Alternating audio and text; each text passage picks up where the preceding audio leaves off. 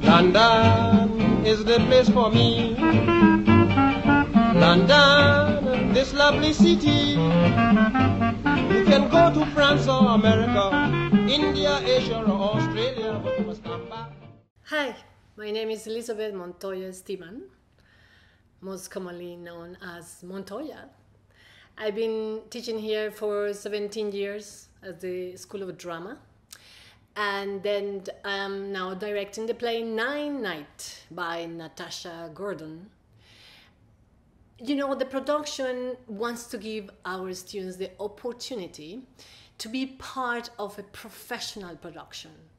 So they really have to prepare, present, do all the process that a professional actor should do.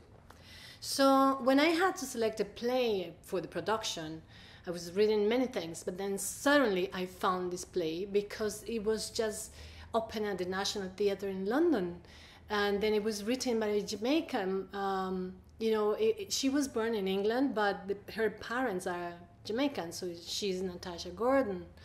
And then, so the play called my attention, not just because it was contemporary, it's happening right now, but also because when I started reading the play, I couldn't stop reading and then I started imagining my actors working with that play and say this would be a great challenge for character creation. So right now we are voila working on that play, and then so we started from scratch. You know, reading the play and then discovering the world of the play, what's in there in that play, and so we started uh, working with the uh, background of the Windrush uh, which was a you know everybody's talking about that right now. It was a, um, a ship, you know, a cruise ship that came in 1948. Uh, 23rd of June went to London, bringing West Indians to London to reconstruct the, um, the, the London, uh, all the disasters after the Second World War. So this generation came wanting to know there is something there for me, there is work, and there was lots of work for them.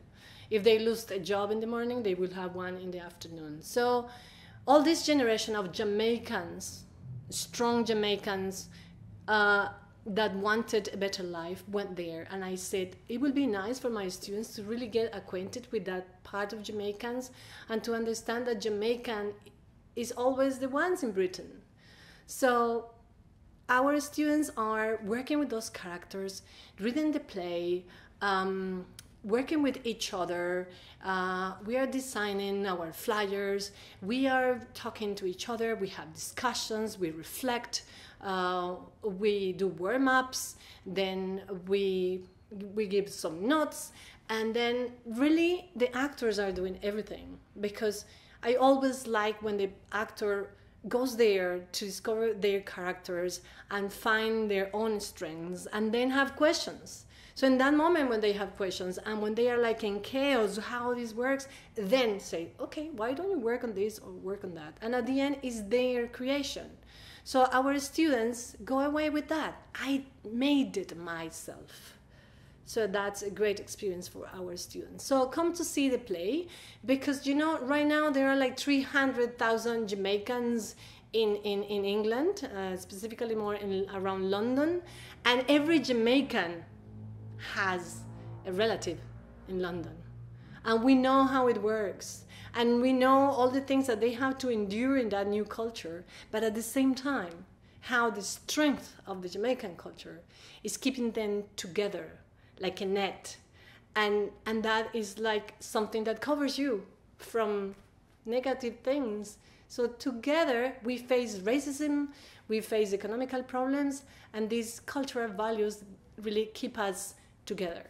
Um, so come to see the play if you have somebody in britain and want to know how it goes. So you are invited all of you. Thank you very much is the place for me. London, this lovely city.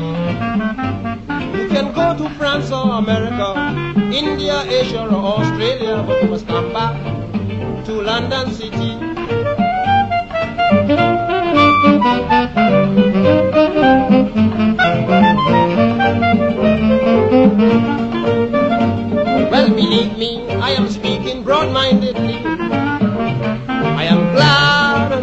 Mother country. I've been traveling to countries years ago, but this the place I wanted to know. London, that's the place for me.